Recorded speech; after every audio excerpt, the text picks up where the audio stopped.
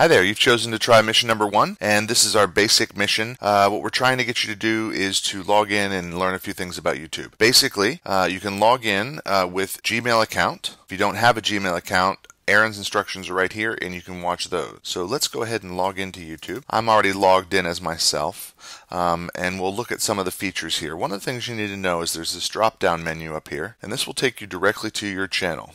In your channel you will see things like videos, which is basically a listing of all your videos that you've made. You have playlists, and your playlists are essentially how you choose to pile or file. I'm clearly a piler. As I watch YouTube videos, I save them to my favorites. And if I click on my favorites, I can see all of the videos I've favorited throughout my history of watching YouTube. Now, I like to make a pile because I'll use a uh, command search. I'll, basically, I'll hit the Control F or the Command F button and then I can type in something, say for example like the word Prezi, and it'll search right to the videos that I've shared or curated relating to Prezi. And so this is how I choose to search, but not everybody does it that way. Some people like to name their playlists, and so you can create a new playlist by class, by content area, however you'd want. Channels are something a little bit different.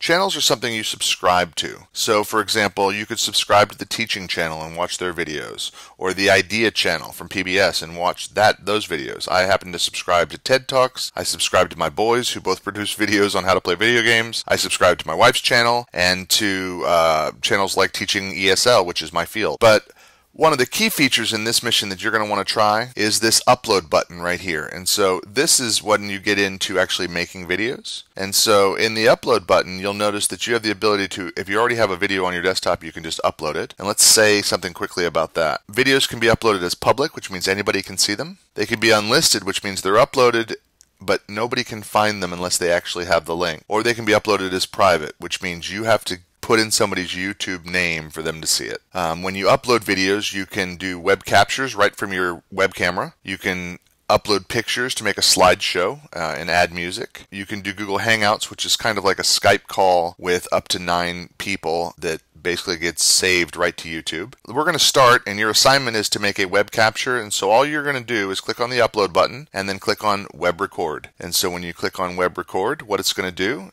is it's going to actually turn on your web camera and when you click on the start recording button it's going to ask for permission to use your web camera. Once you've done that it's recording you. Hi there. And when you stop recording it's going to ask you to continue and it's going to actually start saving that up this is how it starts saving it and publishing it to your YouTube account. You can add a title, you can add a description, and then you can publish it. And once you do that, that video will be found in your channel. And so when you go to your videos channel, it'll be found there. And so here's one that Mandy and I did just the other day.